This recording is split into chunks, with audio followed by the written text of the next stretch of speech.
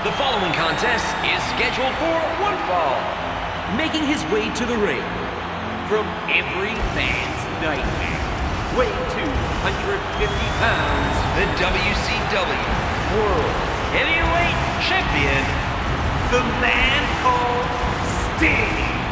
Oh, what a matchup this is going to be.